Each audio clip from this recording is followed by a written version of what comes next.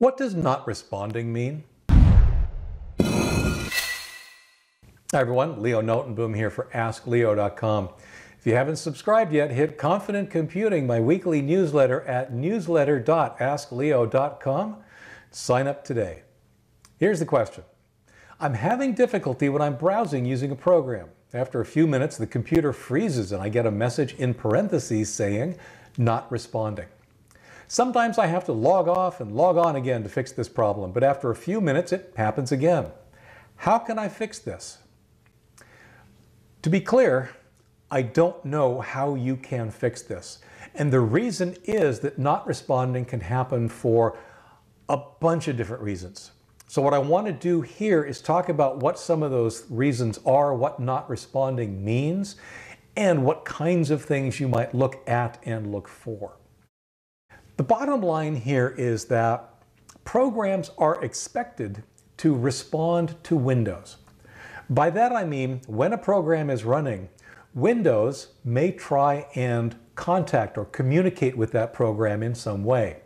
A classic case is if your program is running and you press a keystroke, Windows needs to tell that program you got a keystroke. If that program isn't listening, isn't paying attention, then Windows can't deliver that message.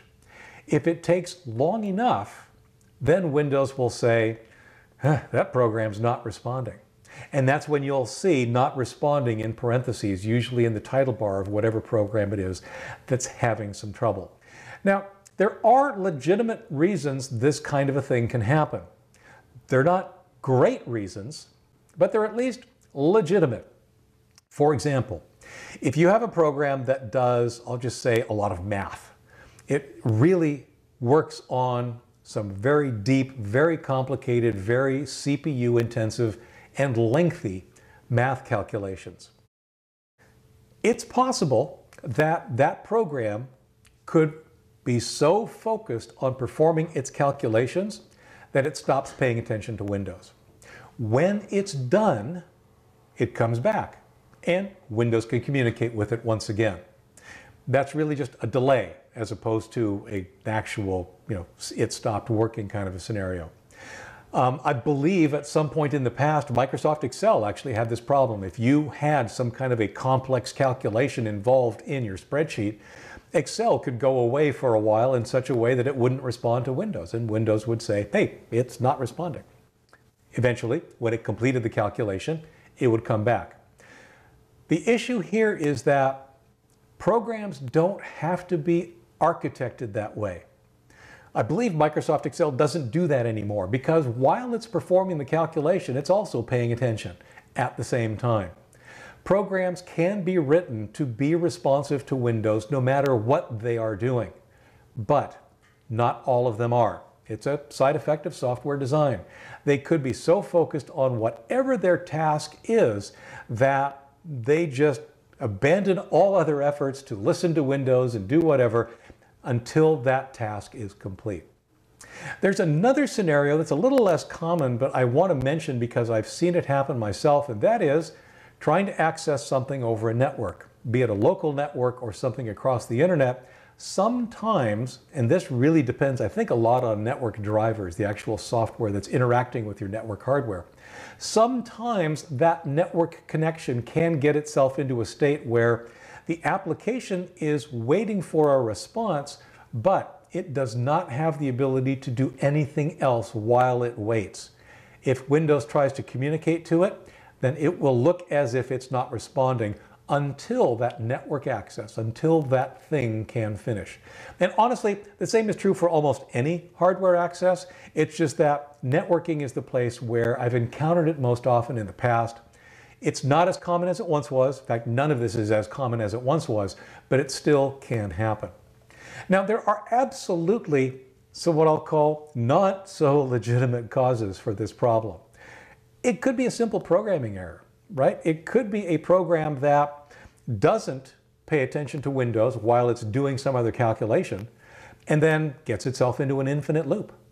That calculation is completely consuming all of its attention. By definition, an infinite loop never ends. The only thing you can do is to actually kill the process, terminate the program in some way. Software design errors is basically the same idea except that it is bad design as opposed to an oversight, not paying attention to windows while you're doing a calculation. Sometimes there's actually some bad design.